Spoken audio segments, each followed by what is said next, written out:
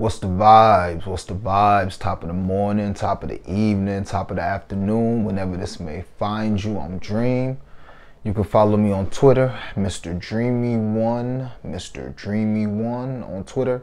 Um, and yeah, about to give you all some playoff picks today and give you all a little bit of my um, opinion on the games today, um, aside from picks as well, but most importantly, the picks. So, quick recap. Yesterday, whew, Oh, I gotta think. I know I went four and four yesterday, so I may have went three and four here. Uh, I had the right play on Dante. I, I, called that perfectly, but boy, he hit a three with one minute left, and that basically uh, was the difference between profit and non-profit for the day. Because uh, we had him not hitting the three at plus 185, just like I thought he wasn't gonna play a lot of minutes. He didn't. Then he came in with like two minutes left in the game and hit a three with one minute left. Still went under his PRA. Uh, Dre covered his RA. De'Aaron Fox was clearly done. Um, he didn't cover his RA for the first time in like five five games that series. Um, Wiggins was a flop with the stocks. Uh, that Heat under, ugh, it was a gut play that should have hit.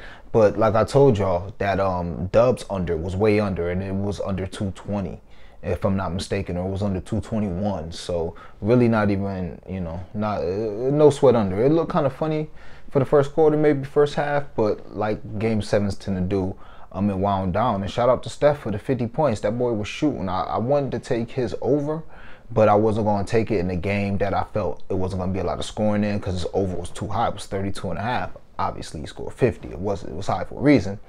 Uh, but yeah, so uh, that's the recap, and let's get into today's game. First game, you got a. Uh, let me see, what was this? um, Boston and Philly.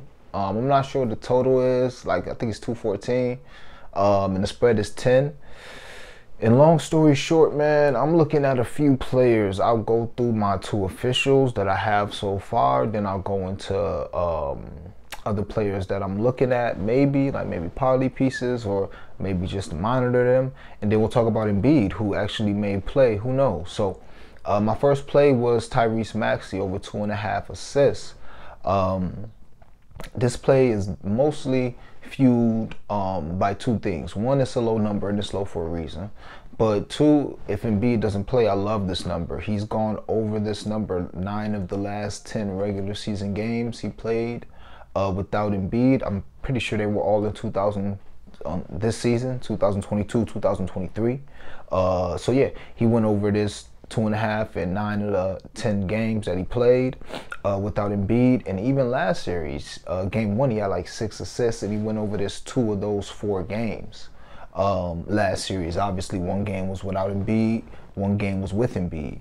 So under two and a half, whether Embiid plays or not, even if Embiid is compromised, you can expect Maxey's um, usage to go up. Um, if he gets it going, they may send a double. I doubt that, but he's going to be more penetrating and kicking. Um, he actually struggles against Boston. I was looking at his game log this year against Boston, and he only had, I think he had a dub one time, like 20 something one time. Then all the other games, he was under 10.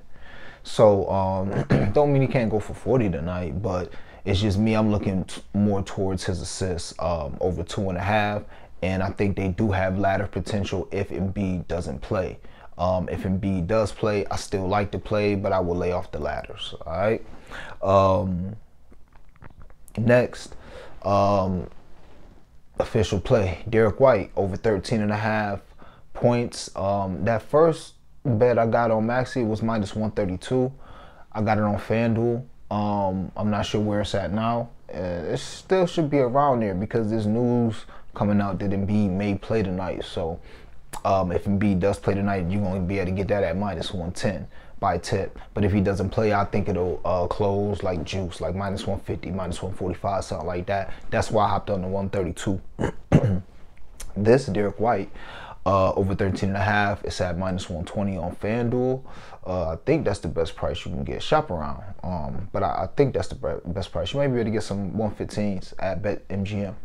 Um, but this number is simple, man. If you've been watching Derrick White, um, this playoffs, he's been balling. He's over this number four of six games last series. Um, so he was really, he was scoring. Um, he played the 76ers four times this year. He's over the number three of four games going against them. Um, and the only game he didn't go over was in 2022. So in 2023, he's three of three against the 76ers over this number. Um, he had 30 plus minutes every game last series, which means that if he's starting, he's the first one off the bench, whatever they're gonna do, he's getting 30 minutes. And um, for his career, uh, Derrick White is averaging 14.6 points per game um, when playing at least 25 minutes. So, for all those reasons, plus the fact that who knows with uh, Doc, but you would think that they're going to try to neutralize either Tatum or Brown, and that's going to leave food for uh, Derrick White, Malcolm Brogdon, those type of guys. So, I'm going to get on Derrick White. Like I said, uh, he been balling for over this number, basically 14 plus points for the last uh, four of six games last series. Um, every game we played Philly this season in 2023, he's gone over this number. Um, one of those games was without uh, Brown. One that he went over was with both of them. Um, so all the bases are covered. I like to play over 13 and a half. Um, I wouldn't ladder it just because, you know, it's you know, it's Derrick White. You know what I'm saying? He could have 20, could have 25. But um, to me, I would more put like his 15 or 16 points, maybe even his 18 points as like a parlay piece or something like that. Um, if you want to, you know, maybe put that with Maxey four assists, um, you know, 15 and four assists, and then you throw in, you know, maybe a Tobias Harris over six and a half rebounds, just, you know, if Embiid doesn't play. Uh, that's like plus a thousand, plus 1100. So, Something like that. Um, so those are the official plays. Maxey over two and a half assists. Derrick White over 13 and a half points. Um, other looks from this game. Um, Tobias Harris, I just mentioned his rebounds. If Embiid does not play, uh, the homie Monotone, follow him on Twitter. I think it's Monotone Football. Um, but yeah, he also being uh, the homie Crispy Cap in spaces as well. But uh, he gave out a play like I don't know the last Philly game, which was like two weeks ago. He gave out Tobias Harris over one and a half rebounds. Um, it was a great play. uh, he gave it over. I'm sorry, one and a half rebounds in the first quarter. It was a great play. Um, I think he ended up with like three or four in the first quarter. I couldn't wait to tell that again. I will be telling that again. I don't know if you're gonna give it out or not, and I want to give out my man Sauce, but I will be telling that look again if Embiid doesn't play. So if Embiid doesn't play, you gotta like Tobias Harris rebounds in general. Um, he had two double doubles last series against the Nets, um, and he had three double doubles, um, three of the last ten games without Embiid this year this season. So he is going to hit the boards, um, assuming that Embiid doesn't play. But I will lay off of it. Maybe sprinkle a little something. You know, if you want to do a little party for like a little tenth of a unit, a little fifth of a unit, and then just try to get ahead of the stuff, then yeah, I can't talk you off of that. Even though you probably would have got better numbers a day or two ago, um, when the news first hit, when nobody thought Embiid was playing. Um, so yeah, Tobias rebounds would be a good look. And Harden over two and a half threes. If Embiid doesn't play, I may get there with this. It's minus 122 right now on FanDuel. That Tobias rebounds is over six and a half, over seven and a half for the game. By the way, six and a half juice like minus 140, seven and a half uh, plus money everywhere else. Uh, but this Harden, um, let me see. Look at my notes here. Okay, so he went over this number two or four games last series, and um, four of his last five games without Joel Embiid, he's gone over this number. So it's just simple. You know, you expect Harden to get more shots. We know Harden is not the best at finishing anymore. He's not going past people like he used to. He's more liable to take a step back three. So if you're going to get eight to nine three point attempts a game with James Harden, you know, I can't talk you off his over two and a half three. So uh, if Embiid um, doesn't play, then yeah, I definitely might get there with that. I definitely might get there.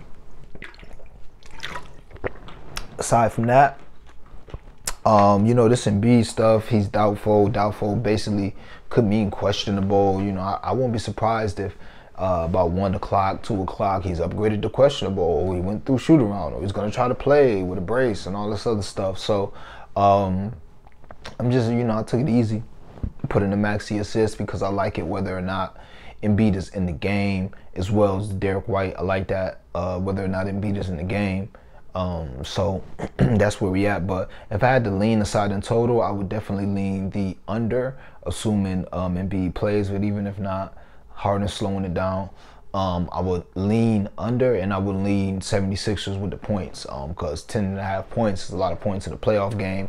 We've already seen what the Hawks were able to do, stick around against Boston. Boston like to play with their fools, so definitely couldn't talk you off them Sixers. Um, and if you want to take them now, thinking Embiid does play, if Embiid plays, the line probably get back down to six, seven. So um, you will get a little bit of value, but I'm good on that.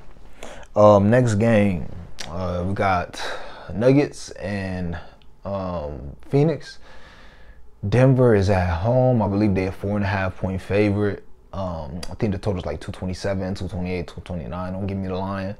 Um, yeah, so my first thoughts on this game, you know, I not last video, but the video before last, you know, um, I was on Jamal Murray points. He covered that easily, and I was saying how I think you know you're gonna have a couple stars, gonna be stars games where you know Jokic 25, Murray 25, then 30 and 30 for Book. I had got that at like plus 1500 for game one. It got really close to hitting. Uh, Book and KD each finished with like 29. Jokic finished with like 24. So or like maybe Book finished with 27. Um, but yeah, it was very very close there. I mean, if it was a close game, it would have hit most likely. But now when I put that same lay in, it's down to plus 900. You know. It, eh, you know that's that's a that's a that's a sixty dollar difference, six dollar difference, six hundred dollar difference. However you want to look at it, that's a big difference, you know. So I'm not sure if I'm gonna run that back. I may just dumb it down and do like 25, 25, 20, 20 and make that a part of a, a part of a parlay. But as far as just looks for this game, um, I don't have anything but KCP, and I'm not even sure if I'll get there yet. KCP is my favorite look so far from this game. He's got uh, eight three-point attempts. I, I, I was leaning toward him last game, he ended up doing well, barely going over his ten and a half, his nine and a half. I was leaning his points. Um, one of the bros gave out his threes, and his threes was actually the look. And um, I, I, would agree this game too. I would agree with his threes being more the look. Um, he got eight attempts last game, and he only got to hit two. Um, and generally, when he gets six attempts this playoffs, um, he's hit three. He's he's doing very well when he gets the attempts. So um, I wouldn't. it's not like I would expect his shot to change. He didn't play a lot of minutes. Um, you still had, you know, Jokic go for 24. Um, Murray had 34. Gordon had a dub. So, you know, it's not like regression. It's not like, you know, you can't see Murray only having 27 and, you know, um, Gordon having 12. It's not like it's not going to be shots for KCP. You know, it's not like he had 23 the first game. That's all I'm saying. So I still think he has room to grow. Um, eight three-point attempts is something I can't talk you off. So I may get there with that game.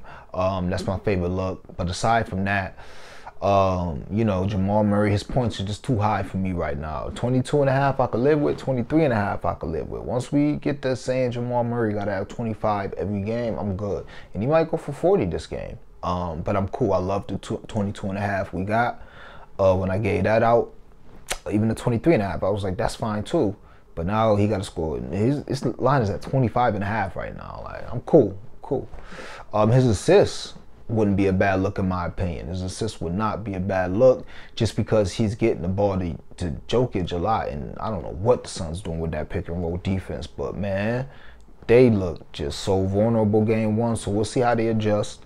Um, I would lean over just because again, I don't know how they defend in Denver right now. Like honestly, even if Aaron Gordon didn't get busy, it's like Jokic could have had 40 if he wanted to that game. You know, Murray, if they kept playing, he would have had 50. So we'll see. Um, and I, again, I lean over because with Phoenix, they're gonna score. They're not gonna stop you. They're not gonna defend. If they're gonna win, they're gonna outscore you. Like that is clearly um, showing itself to be the case at this point. They couldn't even stop the Clippers, led by my guy Russ, without Kawhi. Clippers was putting up points. So now you have what many feel is the best offensive team in the league, um, ran by Jokic. So yeah, um, I would have to lean the over. The over isn't too high. Like like I said, it's between 227, 228, 229. Game seven, uh, um, Warriors over. Uh, I mean, a game seven Warriors total. So, yeah, couldn't talk you off that over. Um, but I haven't put that in yet. The only two plays I put in, I gave y'all before. Um, and I also can't talk you off of Book and KD each going for 40. Uh, right now, I think that's like 6,500 at DK. Shop around, see what you can get. But I feel like similar to me feeling like Murray was gonna go for 41 game in this series. Um, I'm not really gonna play that. It, I don't know. I'm salty. I, I couldn't get the 35 plus a thousand. He finished with 34. Right now it's 35. It's plus 550. I'm not playing that shit. I, I can't play it, man. Um, but yeah, like I said, I, I, think there's a game this playoff and maybe this series because uh, this may be the last series for these guys. But there's definitely a 35 35 KD um, Booker game, but I won't be surprised if there's a 40 40 Booker KD game. It's gonna be one of these games where you know they both just get out hot. You know, one one got 22 at halftime, one got 17 at halftime, and it's gonna be a close game, and they're gonna have to lead them to victory. And you know, one finish with 44, one finish with 41. Uh, and like I said, I believe it's like plus 6,000 right now. So, um, that series for me, I just always viewed that series as a SGP long shot lotto uh, dream of a series. We almost got it game one. Um, obviously, the books adjusted to them lines, so we'll see what we can get going forward. But there's not really many lines that that uh, you know that really you know, for lack of a better term, tickle my fancy. I don't know why that that, that term came to my head, but it's not really many lines out there that just made me be like, oh, I gotta hop on that. Like I said, besides the KCP3. So um, that's what we on for today. I think we got Knicks tomorrow again. Knicks, and I think we got game one of the Warriors tomorrow. Warriors and uh, Lakers. Definitely a couple looks for that game. So um, as always, I appreciate y'all watching, rocking with me. Like the video, subscribe, and uh, let's cash some tickets. Be on the lookout. Well, I mean, hold on. It wouldn't be a show if I didn't give out one blunt. Well, shit, I did. Yeah, I can't help but give out blunt. I'm about to say this wouldn't be a show if I didn't give out a blunt money bet. I did. Uh, KD and uh, book 35 35. Um, or you can do the 30, 30, 25, 25 probably I did before. Shit, I even gave y'all Maxey, man. Rewind it, man. I gave y'all about four blunt money bets already. So, as always, man, like the video, subscribe to the page. Appreciate y'all rocking with me, and uh, let's